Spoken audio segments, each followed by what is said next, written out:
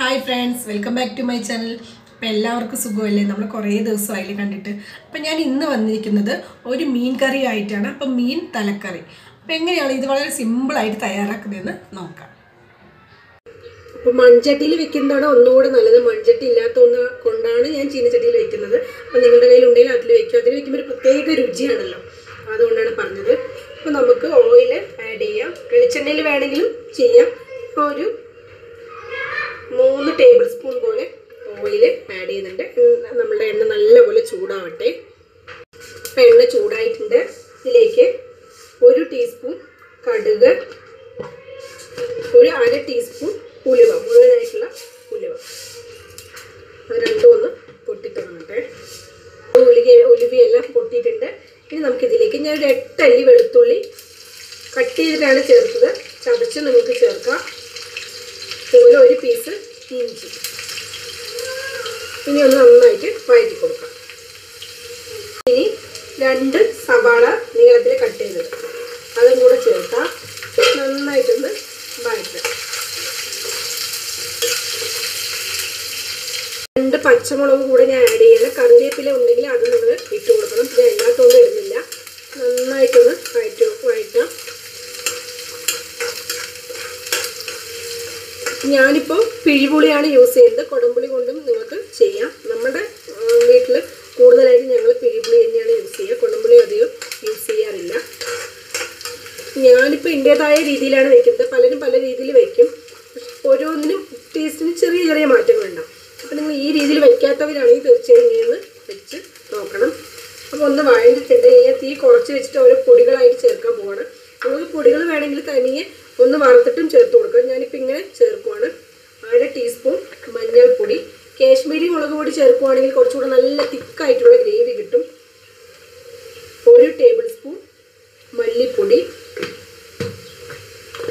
ഞാനിപ്പോൾ കാശ്മീരി മുളക് പൊടി ഇല്ലാത്തതുകൊണ്ട് എരിയുള്ള മുളക് പൊടി തന്നെയാണ്. അതും ഒരു ടേബിൾ സ്പൂൺ ചേർക്കുവാണ് ഇതൊന്ന് വഴറ്റാം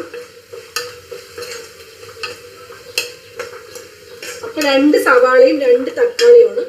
പിന്നെ നമുക്കിതിലേക്ക് നന്നായിട്ട് മസാലയെല്ലാം വാങ്ങിയിട്ടുണ്ട് രണ്ട് തക്കാളി അരിഞ്ഞും കൂടെ ചേർക്കണം ഇതും കൂടെ ചേർത്ത് നല്ലപോലെ തക്കാളി നല്ല ടേസ്റ്റ് ആകുന്നതായിരിക്കും നമുക്ക് ഒന്ന് വേവിച്ചെടുക്കാം. വെള്ളമൊന്നും ചേർക്കാതെ നമുക്ക് മൂടി വെച്ച് വേവിക്കാം. നമ്മളുടെ തക്കാളി ഒക്കെ നന്നായിട്ട് ടേസ്റ്റ് ആയിട്ടുണ്ട് നല്ലതുപോലെ വെന്തിട്ടുണ്ട് ഇനി നമുക്ക് പുളി ഞാൻ ഒരു നെല്ലിക്ക അളവിലുള്ള പുളിയാണ് എടുത്തത്. നന്നായിട്ട് പിഴിഞ്ഞിട്ട് നമുക്ക് ഒഴിച്ചു കൊടുക്കാം. നല്ല പുളിപ്പുള്ള പുളിയാണ്. പുളിക്ക് പൊതുവേ പുളിപ്പാണെങ്കിലും ഓരോ പുളിക്കും കുറച്ച് പുളിയുടെയൊക്കെ പുളിപ്പിന് വ്യത്യാസം കാണും അതുകൊണ്ടാണ് ഞാൻ പ്രത്യേകം പറഞ്ഞത് നമുക്കത് ഒഴിച്ചു കൊടുക്കാം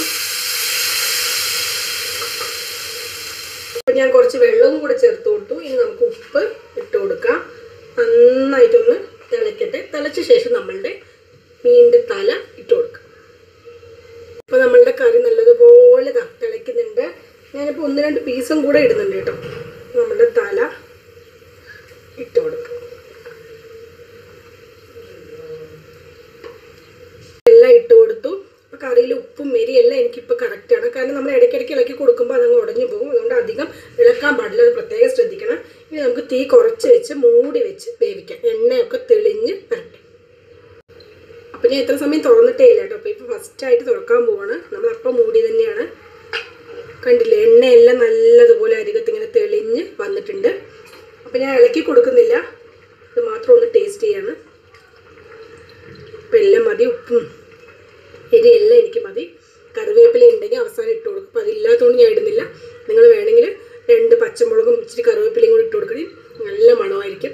അപ്പോൾ ഞാൻ തീ ഓഫ് ചെയ്യാണ് അപ്പോൾ നമ്മുടെ ടേസ്റ്റി ആയിട്ടുള്ള അതുപോലെ തന്നെ വളരെ സിമ്പിളായിട്ടുള്ള തലക്കറി ഇവിടെ റെഡി ആയിട്ടുണ്ട്. അപ്പോൾ നിങ്ങൾ തീർച്ചയായും ട്രൈ ചെയ്ത് നോക്കണം. നിങ്ങൾക്ക് എല്ലാവർക്കും ഇഷ്ടമാവും.